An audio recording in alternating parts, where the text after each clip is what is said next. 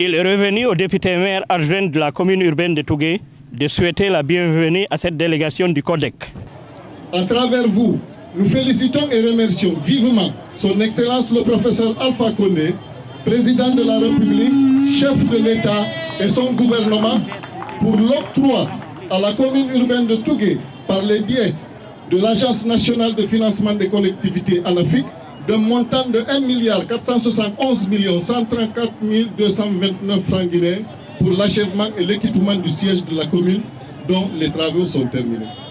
Par ailleurs, les efforts fournis par le gouvernement à travers les actions, des projets et programmes déployés dans la préfecture, notamment l'Agence nationale d'inclusion économique et sociale Agnès, ont contribué à réduire substantiellement la pauvreté et à améliorer significativement les conditions de vie de nos populations. Cet événement politique réussi a été organisé par le mouvement Djokeng Alpha pour la continuité dans la paix à Tougué. Tirant les leçons sur les régimes précédents et l'élection présidentielle de 2010, nous, mouvement Djokeng Alpha et cadres ressortissants de Tougué, avons décidé d'accompagner le professeur le président de la République, son Excellence le professeur Alpha Condé. Ce qui nous a permis, sur le plan politique, de réaliser les résultats ci-dessous.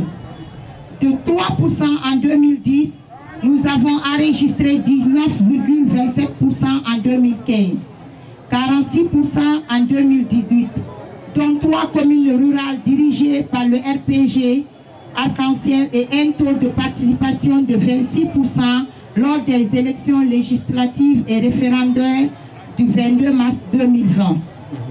Évoluant dans une zone réputée fief de l'opposition, ces résultats nous classent de loin devant plusieurs préfectures du Fouta. Cette performance avérée de la mouvance présidentielle dans l'un des bastions de l'opposition a vivement été saluée et encouragée par le coordinateur du CODEC. Joni noon miɗen ɓuri tanjinade bimbi wowteɗen e professeur alpha condé weltoto par ce que mawɓe ɓen mba rewɓe ɓen mba sewɓe ɓen fof holli no professeur alpha condé ko kuka o waɗeten bimbi ñande woteɗen De. Son côté, l'envoyé spécial du président Alpha Condé a remercié et félicité les organisateurs pour la qualité de la mobilisation.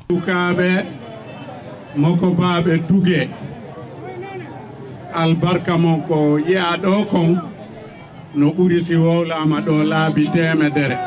La rencontre a été marquée par l'adhésion au RPG Arc-en-Ciel de certains citoyens de la commune urbaine de Tougué, dont Tcherno Issa Diallo, président du conseil de district de Kakuma, recruté par le nouveau député uninominal de la préfecture.